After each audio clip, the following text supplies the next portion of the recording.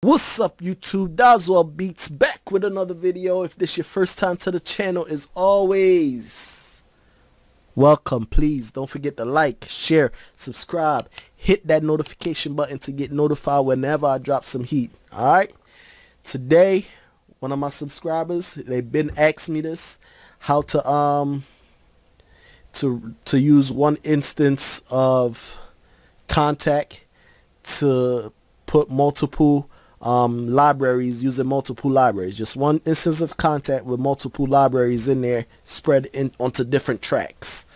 Alright, so that's the video for today.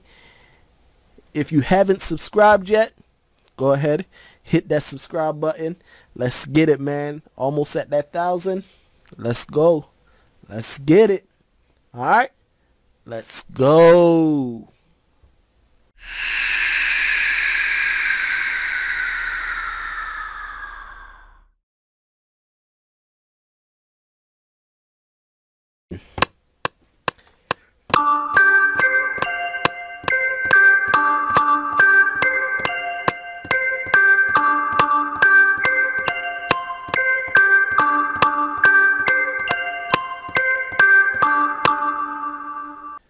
We need to do is get the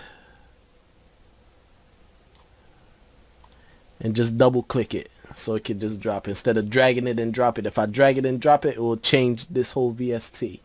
Alright, so now you see, let's change this. See this says the output 1 and the MIDI channel 1. Now the Alicia Keys is output 1 but MIDI channel 2. So what you need to do now is go to your Kontakt, just change the MIDI channel to 2. Now we'll be playing the Alicia Key is all the one is still the one instance of Kontakt. See we have the cloud supply and we have the Alicia Keys on there. But when I use track 2 is only going to play Alicia Keys. But if I say I change the MIDI channel right here and put it on track track 1, now track 2 is going to play both of them. Listen. Hold on, I got to change it back to track 1.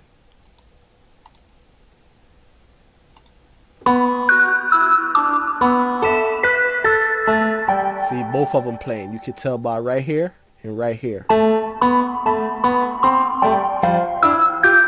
Alright, so let's change it back to track um, MIDI channel 2. And now I'll change this back to MIDI channel 2. Just the Alicia keys. Alright, so now we need to try to create a pad to go with that with this melody. We need to create a progression to go with this melody.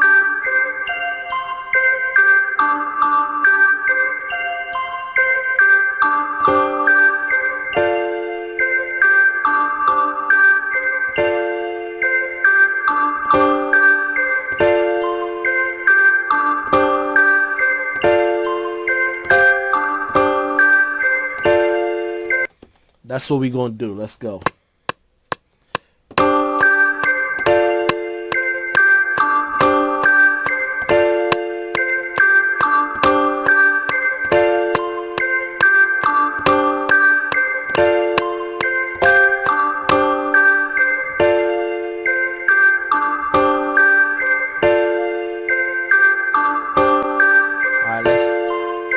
Now let's copy our bottom notes.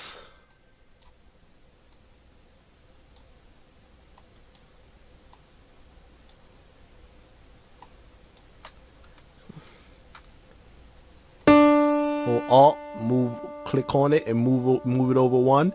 Let Alt go, drop it down and then move it back. See it's not on the line. Just use the arrow key and move it back over.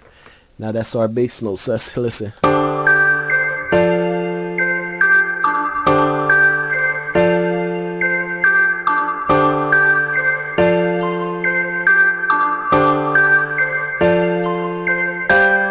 Alright, let's um let's drop it one more, see what that sound like.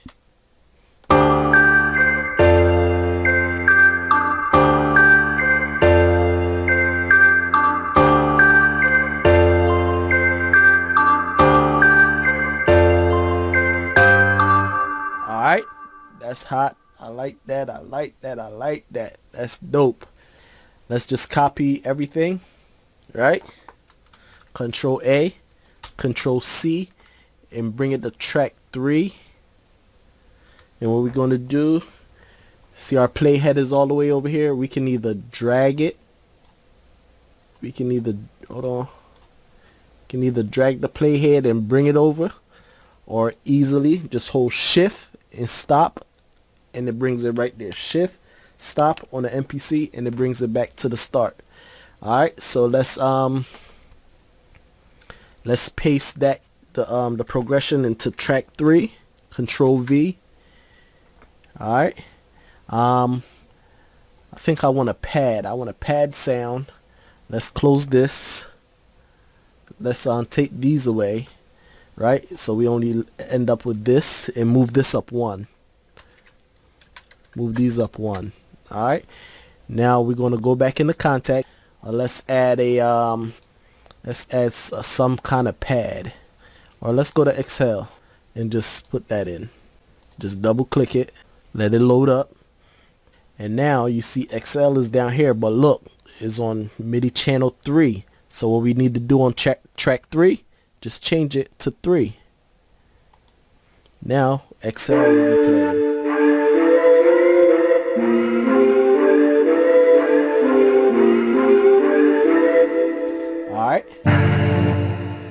let's get a some kind of pad. What I've been using. D um, D minor. So let's go to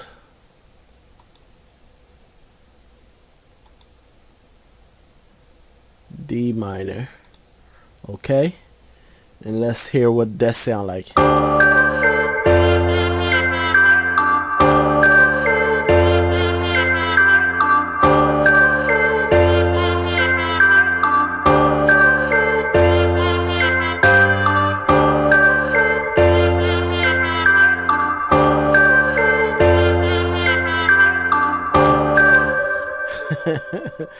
That sound alright. Let's um let's um add some kind of um effect to it. Let's add a gatekeeper.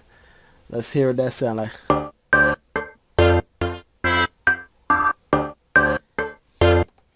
So that's the that's the only issue with that. The only issue with this is once you put the the effect on on the instance of Kontakt, it's gonna affect every track and that's the only thing I that's the only part I don't like about it. Yeah, that's the only that's the only that's the only setback. You can't uh, you can't put an effect on this one program. So if you wanted to effect if you want to put effects on each individual track, I don't mm, I'm not gonna say I, I don't think it can work. Um, let's see what we could do. Um, yeah. Take that off. MIDI tracks. See, and that's the thing. If if MIDI tracks could allow to put Cause look, see they're playing. See they're playing on separate MIDI tracks. So if we was if we was able to put effects on MIDI tracks, then it would have worked then it will work that way. But the MPC for some reason don't I don't know why. MPC fix that. I don't know why but that's that's how they do it. Alright YouTube so that's that's the whole issue with using one um, instance of Kontakt to add multiple libraries the in the MPC is you cannot put an effect on each individual track because the MPC don't allow that. The MPC need to fix that and put so you can use effects inside the MIDI tracks. Once we can do that, then it'll be game over. Alright? So that's that right there need to they need to just add the effects right here and add that we can put the um, um, um, automation right here too. So we can automation it. Alright? So that's that was just a quick video to show you how to um, use one instance of Kontakt and add multiple libraries to make you know make your whole track with just one instance of Kontakt but the downside is like I said can't affect inside the effect inside your your your your um, mixer you can't affect each individual um, each individual library. So that's the only downfall. But you know what I'm saying? It still work. You can use it to make multiple sounds put them all together and create a multi. Alright? That's just a quick video to show you how to do that. Alright YouTube see you in the next one. What I might do I'm gonna keep this sound right here. I'm gonna keep that and I'm gonna make a beat with it and I'm gonna um, post that as another video. Alright? Catch you in the next one YouTube. Peace. Let's go